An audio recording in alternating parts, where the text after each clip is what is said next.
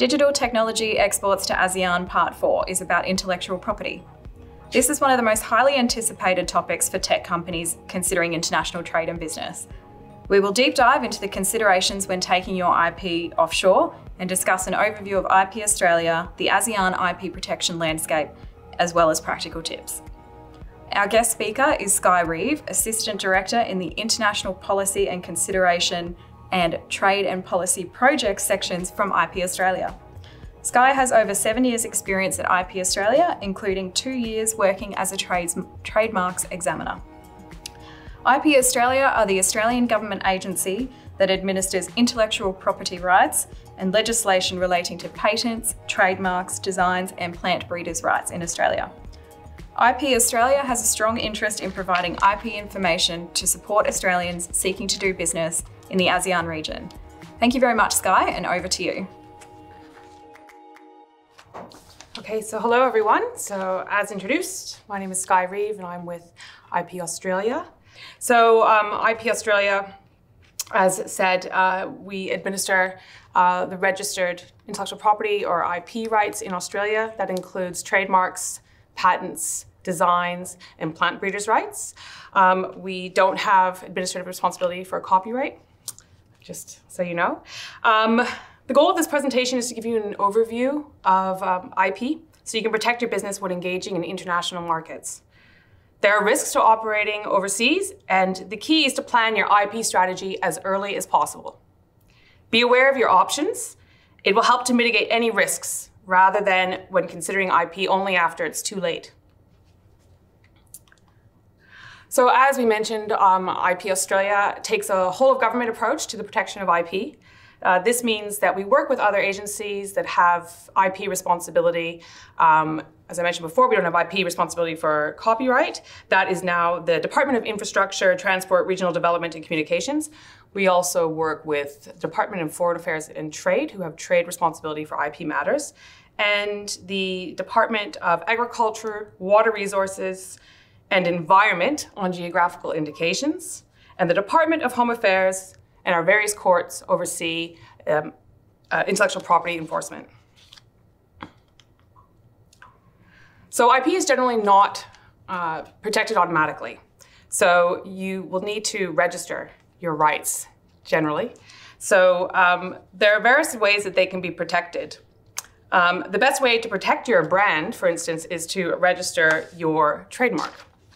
As mentioned, um, other rights can include copyright and trade secrets, um, and these aren't necessarily registered. But uh, if you do have a trademark, patent design, or plant breeder right, you will need to register them. We recommend that you register them with IP Australia. So this slide shows you how a company can leverage various types of IP to protect their brand, products, and business processes. In this example, uh, the company uses the full scope of IP mechanisms, including registered and non-registered rights for various elements of their business. So there's no one way. So you can see here that they've registered their trademark, um, which they've done for both a plain word for ResMed and a logo mark. They've registered the design, which is the visual appearance of the product. They have a patent, a registered patent, um, and while not a reg- while registration isn't required for copyright or trade secrets, um, the copyright will protect any software source code, product images, advertising copy, product manuals, things like that. Um, and as you know, trade secrets um, protect commercially valuable information not disclosed in patents. So trademarks. So a brand can be the most valuable IP a company has. A trademark is the IP right used to protect a brand. A trademark is a sign that distinguishes goods and services from those of others. What can be a sign is quite broad and includes a word, logo, shape, color, or combinations thereof. It must be distinctive and not descriptive. So different countries have different systems to protect their trademarks, um, and these can be either what's known as um, first to file or first to use. So Australia has a first to use system, um, and that means that whoever's the first to use a trademark will usually be uh, the person that has the first right to use that. Now, in first to file countries, that's different. It's the first, per first person or company or entity that actually files the trademark. And uh, this is different across the ASEAN nations. So it's important that you understand uh, the jurisdiction in which you're planning on trading in order to ensure that um, you've uh, considered, I guess, your best option. Um, I guess one of the big things about that is if you're looking at a, a nation that is a first to file nation um, and you haven't registered your trademark, somebody else can get there first. And even though they're not using your trademark, they will have a right that supersedes yours. So, on that note, if you don't register your trademark and somebody sees maybe at a trade fair or some other way that you're promoting your, your brand that they think that it's actually something that's quite viable, you don't be surprised if somebody else has already registered your trademark in their country. If this happens, they can sue you for trademark infringement and sometimes even ask a lot of money for you to buy back your own trademark. This bad faith trademark filing, also called trademark squatting, um, can be a very big issue in some countries. Trademark squatters or hijackers register the other company's trademarks in order to seek a payout to sell the mark, as I mentioned, or to use it as a cover for counterfeit products. This is arguably the single most frequent IP issue affecting companies overseas. It affects huge successful companies such as Apple, Nike, and New Balance, and it affects Australian small businesses too. The only effective way to try to avoid this is to file trademarks in all first to file countries as soon as possible. So here's just a table of some of the filing systems of ASEAN countries. You'll see that most of them are actually first to file. Uh, the only two that, uh, you know, this is the current data that we have. The only two that seem to be first to use are Malaysia and Singapore. Note, uh, Myanmar is actually undergoing a change from first to use to first to file, so uh, you may, may need to seek specialized legal advice there. Moving on to patents and designs. So as I said before, patents protect inventions, how something works, while designs protect the visual appearance of a product. So applications for both these IP rights uh, must be new, meaning that you must file applications before the product is revealed to the public. If you have new products you haven't yet filed patent or design applications for, and you intend to do so, then play it safe by limiting what you display and file your applications as soon as possible.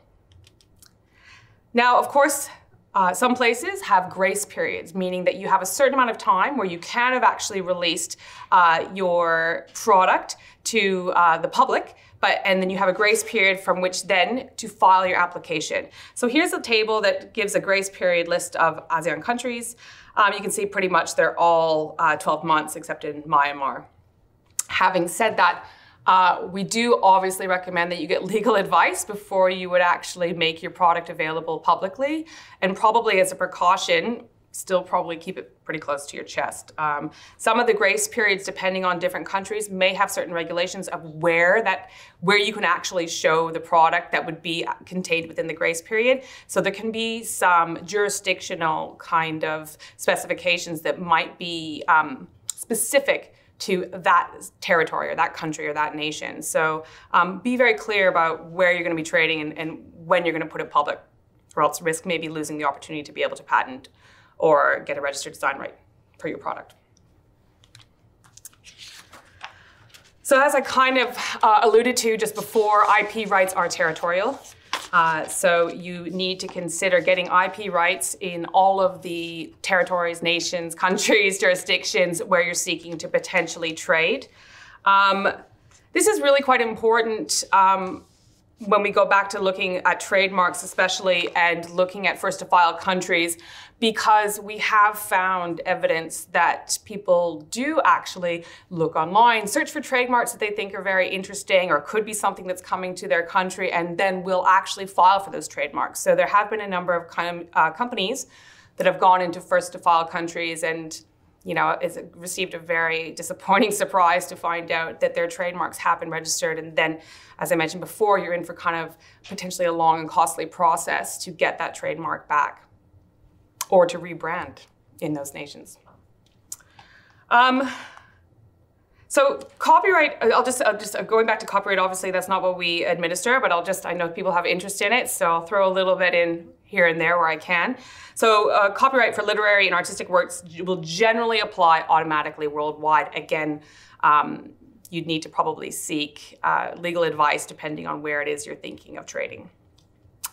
Um, when you are looking at filing for an IP right in another jurisdiction, you have a couple of options generally. So one of them is that you can file directly to the office in that country, or another one, depending on the jurisdiction, you can consider using an international routing system.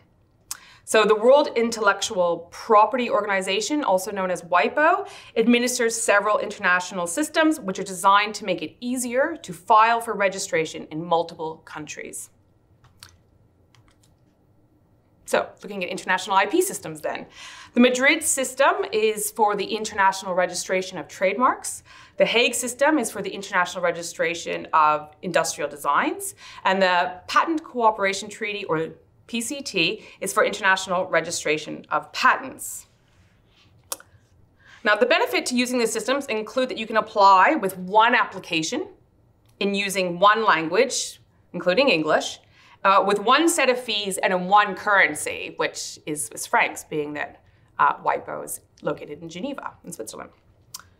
Now, it's also useful to consider having a registration in Australia on which to base your overseas application through any of these treaties. So the way that these work, with the exception of The Hague, to which Australia is not currently a member, is that you'll need uh, what they call a, a basic application or a home application in Australia and from that application, you can then file for an international registration and you can designate which other countries you would like to receive uh, protection in. So uh, that's one thing you probably want to consider that if you're thinking about using one of these international registration systems, you may want to seek a registration first in Australia. Um, similar advantages exist in the management of the IP rate also. For example, uh, with these international routing mechanisms, if the registration has to be renewed or is going to be assigned to a third party, or when other changes such as name or address have to be recorded, you can still do it through that one system and it'll actually affect all the different international registrations that you have rather than having to go to each individual office and directly do that. Um, Okay, so you know, before deciding which route to take, either direct filing or through international systems, uh, as I'll say probably for almost everything here, we recommend that you seek uh, professional legal advice before you do that.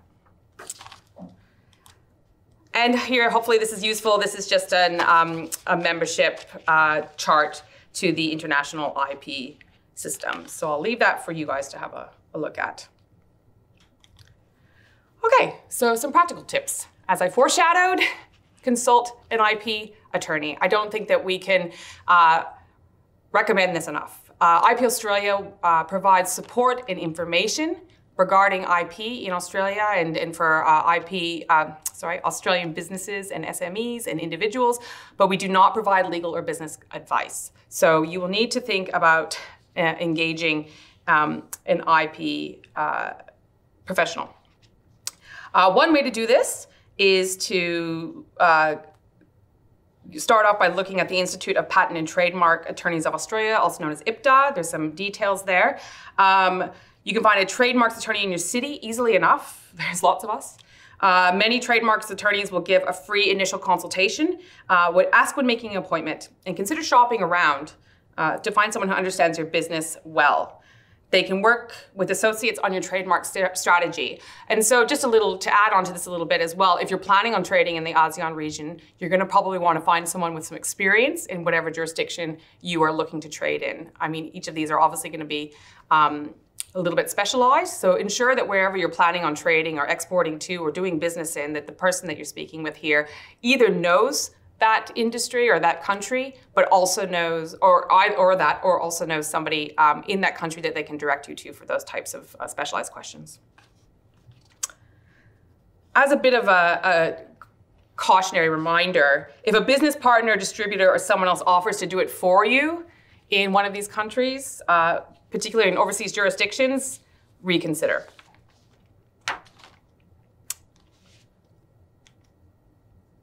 Okay, for trademarks, think about registering your trademark in English, as well as the language of where you're applying. This may include characters and phonetic equivalents.